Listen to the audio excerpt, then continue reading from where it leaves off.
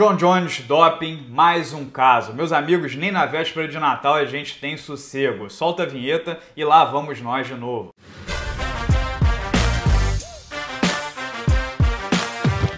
Bom, sabem o UFC 232, último evento do Ultimate em 2018, marcado para o próximo sábado, dia 29, em Las Vegas, que tem John Jones versus Alexander Gustafsson e Chris Borg versus Amanda Nunes? Ele não vai ser mais em Las Vegas. Com uma semana de antecedência, o evento foi transferido para Inglewood, na Califórnia, a 450 quilômetros de distância. E como vocês podem supor, o transtorno é enorme. Só de bilheteria na T-Mobile Arena, o UFC faria 6 milhões de dólares. No The Forum, em Inglewood, fará 1 milhão perderam cinco paus só de bilheteria, sem contar passagens aéreas e acomodações para 26 atletas profissionais, treinadores, empresários, familiares. Muitos jornalistas já disseram que não vão ter como pagar diferença de preço com mais uma acomodação. O evento vai perder cobertura, uma cagada logística completa. Isso tudo porque no dia 9 de dezembro, no exame antidoping ministrado pela usada, né, um exame de urina, foi encontrado turinabol no sistema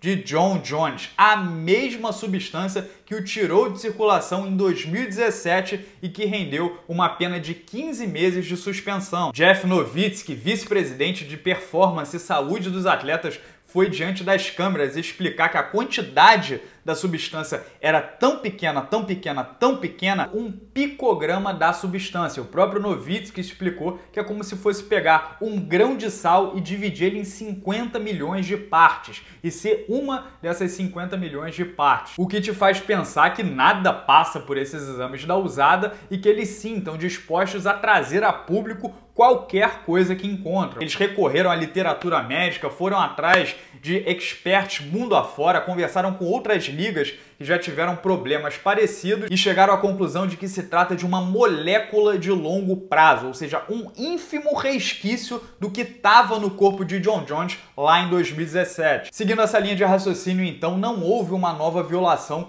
por parte de John Jones e a quantidade da substância é tão pequena, mas tão pequena que não confere uma vantagem esportiva. Então a usada chegou à conclusão que não vai puni-lo e ele está livre para enfrentar Alexander Gustafsson. Acontece que a Comissão Atlética de Nevada, o órgão estatal que regula os esportes de combate no estado ficou na dúvida e se recusou a conceder a licença para John Jones. E aí o UFC, para não perder o evento, correu, se mexeu nos bastidores, consultou a Comissão Atlética da Califórnia, que é o estado vizinho, e eles toparam fazer lá. Então, por isso, da mudança de local. Abre aspas. Quem cometeu mais erros que John Jones? A resposta é ninguém, mas ele arrumou a vida e não testou positivo, não fez nada errado dessa vez. O Gustafsson veio da Suécia, está em Las Vegas há semanas e nenhum dos caras fez nada errado. Eles precisam lutar, é pelo título, é a coisa certa a se fazer, disse Dana White à ESPN. A internet, claro, reagiu prontamente. Daniel Cormier, rival histórico de John Jones, campeão dos meio pesados e dos pesos pesados, logo tweetou: ele está se dopando de novo. E na sequência meteu usada, piada, Jeff Nowitzki, piada, Andy Foster, piada, uma pitada de Turinabol de 2017 que fica no seu sistema por 18 meses.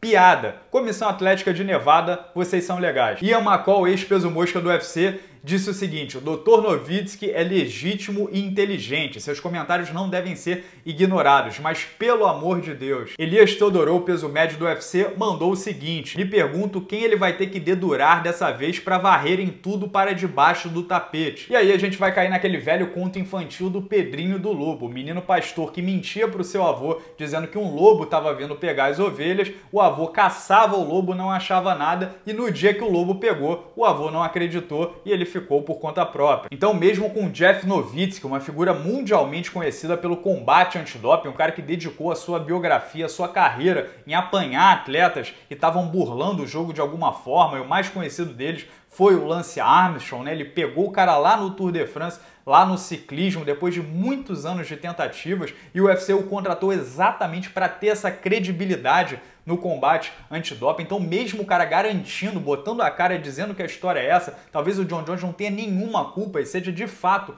um resquício lá de trás. Acreditar legitimamente em John Jones a essa altura do campeonato, com todo o histórico que ele tem, é muito complicado. Tanto que na internet já há um linchamento virtual como se ele fosse 100% culpado. E a usada, no caso, também não ajuda, porque a pena aplicada no John Jones no seu último caso de doping foi completamente contestável. Aplicaram 15 meses no cara quando o próprio set de regras da usada, a própria legislação deles, está bem claro que casos partem de 24 meses. A justificativa na época foi que ele colaborou com a investigação dando muitas informações, o que se concluiu que era uma espécie de delação premiada. Mas ficou por isso mesmo. A gente não soube de ninguém que foi preso, nenhum atleta que foi suspenso, nenhum treinador que teve sua licença cassada, passou. Eu cheguei a perguntar se fosse o Yuri Marajoli teria o mesmo tratamento ou essa pena leve e customizada foi de acordo com a cara do freguês que no caso é um figurão do esporte. Então esse novo caso não tem como já não receber uma nuvem de suspeita enorme sobre ele. A Comissão Atlética de Nevada, que tem laços estreitos com o UFC, uma simbiose histórica, né? Porque um alimenta o outro, se recusou a dar licença pro cara. E a Comissão Atlética da Califórnia, que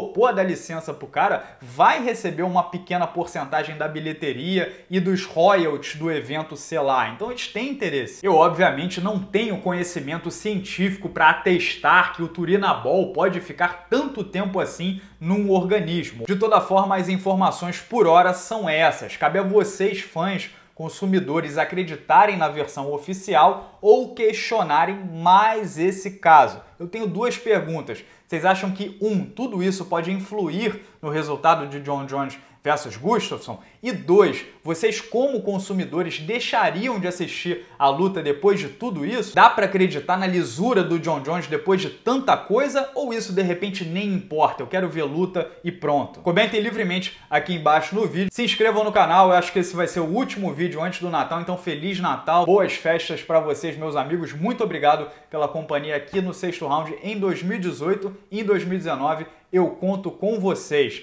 Vou falar sobre o UFC 232 antes do evento, deixar palpites, analisar o evento depois. Então a gente ainda se vê até 2019. Grande abraço e até a próxima.